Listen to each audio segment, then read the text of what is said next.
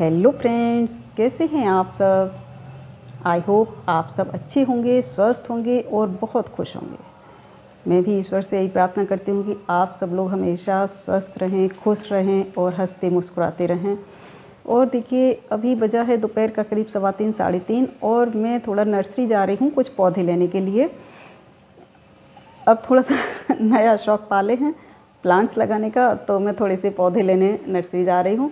और देखिए थोड़े पौधे मैं पहले भी लाई हूँ विंटर से पहले, पर उसमें से कुछ सूख गए हैं और कुछ अभी हैं। शायद विंटर की वजह से सूख गए होंगे, पर कुछ अभी बाकी हैं। तो मैंने सोचा थोड़े से और ले आती हूँ तो इसलिए मैं नर्सरी जा रही हूँ। नर्सरी मेरे घर के पास में ही है, डेढ़ सौ, दो सौ मीटर की दूरी पर ही है बस। तो अभी मैं जब नर्सरी से लौट कर आऊँगी, तब मैं आपसे बात करती हूँ। नहीं, मैं जब नर्सरी पहुँच जाऊँगी, तब मैं आपसे बात करूँगी, ओके? अब फ्रेंड्स, मैं नर्सरी पहुँच गई हूँ और ये है नर्सरी का गेट। अब हम अंदर जाएँगे और देखते हैं कि यहाँ पर कौन कौन से पौधे आज मिल रहे हैं। ये देखिए, ये नर्सरी वाले भैया हैं और इनसे पूछ कर मैं ये वीडियो शूट कर रही हूँ। ये वाला पौधा, ये मैंने इनसे पूछा कि कौन सा है तो इन्होंने बिगोनिया बताया। ये बिगोनिया है भाई। और ये देखिए, बहुत सारे रोजेज़ भी हैं इनके पास। मुझे वाइट कलर का रोज़ चाहिए था, पर इनका वाइट कलर का रोज़ ख़त्म हो गया है। चलिए और देखते हैं इनके पास क्या क्या है। देखिए रेड रोज़ और पिंक रोज़ तो खूब है इनके पास।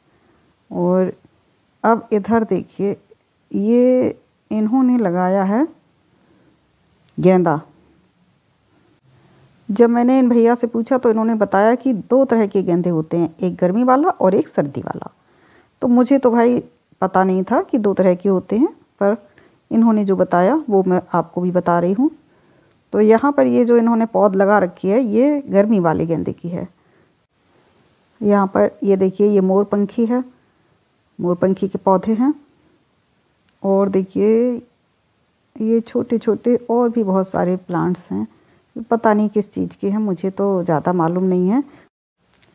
ये इधर इन्होंने मिट्टी के गमले भी रखे हुए हैं, ये भी बेचते हैं ये, और खाद देखिए बोरियाँ दिखाई दे रही हैं, ये खाद है, मिट्टी है, और ये देखिए इधर भी कुछ प्लांट्स हैं, पता नहीं किस चीज़ के हैं, और ये बटरफ्लाई प्लांट है, ये सीमेंट के गमले भी इन्होंने रखे हैं, ये सब चीज़ें ये बेचते हैं यहाँ पर। जो भी चीज़ चाहिए हो, वो ईज़िली अवेलेबल हो जाती है इनके पास।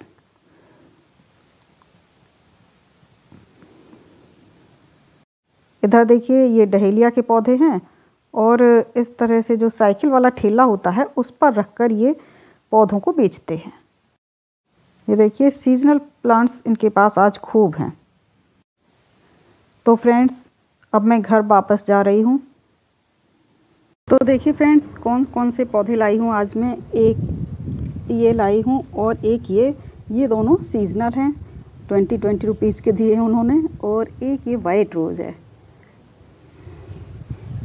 ये तो अस्सी रुपये का उन्होंने बताया था, पर साठ में लगा लिया। तो मैं हंड्रेड रुपीज़ में ये तीनों लेकर आई हूँ और एक पौधा, ये देखिए, ये छोटा सा कोलियस है। ये उन्होंने मुझे फिफ्टीन रुपीज़ में दे दिया तो मैं ये भी ले आई। और ये चारों पौधे मैं लाई हूँ। ये गमले रखे हुए हैं। तो इन्हीं में मैं इन पौधों को ट्रांसफ़र कर दूँगी। अब मैं आपको थोड़े से पुराने पौधे भी दिखा देती हूँ। ये देखिए फ्रेंड्स ये मैं एक रेड रोज़ लाई थी, देसी वाला। तो इसमें ऊपर टहनियाँ बहुत लंबी लंबी थी। तो मैंने क्या किया कि ऊपर से टहनी कट की पहले यूट्यूब पर वीडियो देखा। उसके बाद मैंने सीजर को सैनिटाइज़ किया, फिर ऊपर से टहनियाँ कट की और ये दूसरे पॉट में लगा दें। यहाँ पर भी देखिए, ये मेरी दो तीन टहनी चल गई हैं। तो अभी जब थोड़ा सा और बड़ी हो जाएँगी तो मैं इसको दूसरे पॉट में ट्रांसफ़र कर दूँगी। और एक मैं ये लाई थी, बटरफ्लाई प्लांट। ये तो मेरा बहुत अच्छा हो गया है। एक ये जेड प्लांट। ये तो मेरी बेटी लाई थी। विद पॉट आया था, ये ऐसे ही। और एक ये पिटूनिया है, ये भी सही है। और हाँ एक ये क्रिसमस ट्री भी मैं लाई थी, ये भी मेरा सही है। अच्छा चल गया तो फ्रेंड्स, एक कोलियस और मैं लाई थी। कोलियस में लाई थी रेड और ग्रीन के कॉम्बिनेशन में, बहुत ही सुंदर था, वो मेरा सूख गया।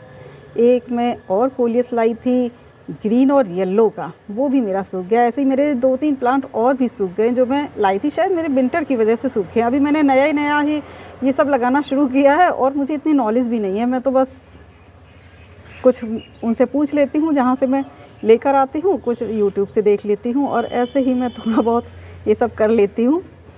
बाकी मुझे कुछ ज़्यादा नहीं आता है प्लांट्स के बारे में।